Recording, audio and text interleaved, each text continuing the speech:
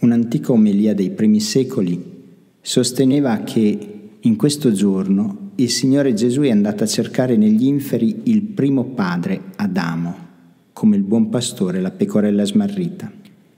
E appena Adamo, il prigioniero, lo vide, percuotendosi il petto per la meraviglia, gridò a tutti e disse, sia con tutti il mio Signore.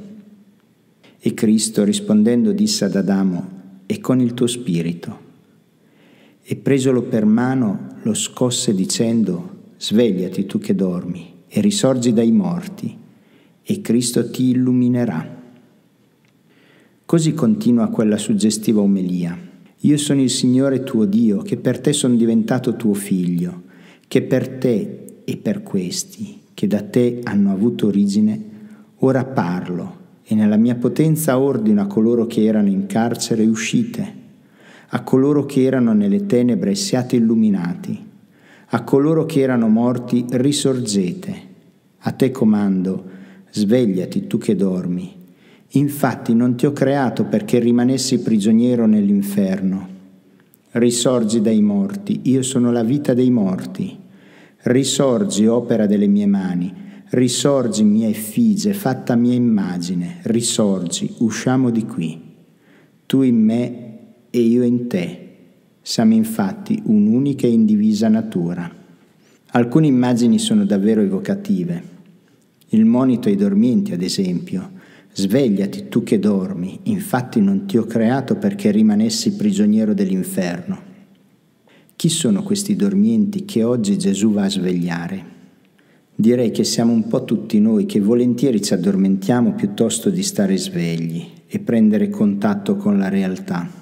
I dormienti sono coloro che preferiscono non prendere impegni e responsabilità, che non prendono in mano la loro vita, che disattendono la loro vocazione di padri e di madri, che disilludono regolarmente i loro impegni di governo. Svegliati, dice Gesù a costoro, non lasciare andare la tua vita, costruisci dei progetti condivisi. Voi fidanzati perenni prendete il coraggio di una scelta di vita matrimoniale, voi coppie che tentennate, decidete di aprire i vostri cuori alla nascita di un figlio. Voi laici di periferia, siate protagonisti nella parrocchia e nella chiesa. Svegliati tu che dormi. È Pasqua. Il Signore viene a svegliarti. Non rimanere addormentato per non pensare. Costruisci un pensiero politico, sociale, educativo. Non andare dietro agli impulsi della pancia fatti non foste per vivere come bruti, ma per seguire virtù e conoscenza. Un'altra immagine evocativa dell'antica omelia riguarda i prigionieri. A coloro che sono in carcere dico uscite. Non ti ho creato perché rimanessi prigioniero dell'inferno. Chi sono i prigionieri che Cristo viene a liberare? Sono coloro che rimangono vittime della propria o altrui dipendenza, sono i prigionieri degli idoli, sono i dormienti che non hanno voluto svegliarsi e a un certo momento si sono dovuti svegliare prigionieri. E anche qui citerei il buon Dante, chi è causa dei suoi mal pianga se stesso. La Germania degli anni 30 ha scelto democraticamente il suo leader, ma dormiva.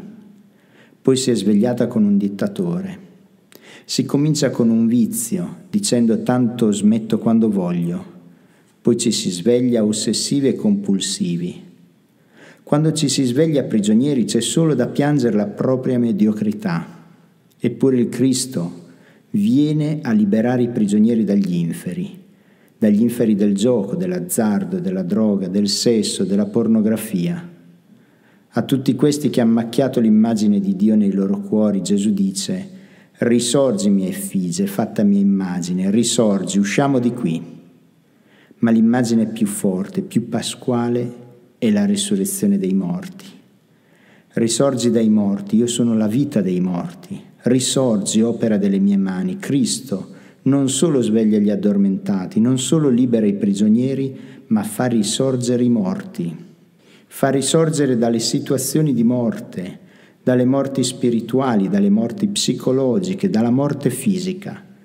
Cristo questo giorno discende negli inferi per strappare i morti dalla morte. Ha fatto così un tana libera tutti, ha costretto il diavolo a contare ad libitum in un gioco che non vincerà più. Non dobbiamo ora temere più nulla. Il Signore è il vivente per sempre.